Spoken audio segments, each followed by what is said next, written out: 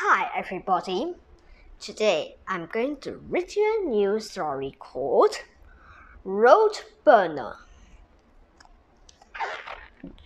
Nadim had a car for his birthday. It's called the Road Burner, he said. It can go fast. Wow, it can zoom, said Kipper. The children had to go. It is hard to turn, said Chip, if you go too fast. A man went past on a scooter. His wallet fell out of his pocket.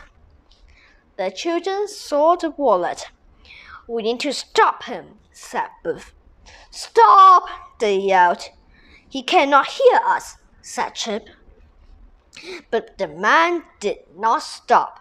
He did not look back. Nadim had a plan. He put the wallet on the road burner. Then he sent it off. The scooter was fast, but the road burner was faster. The man saw his wallet on the road burner.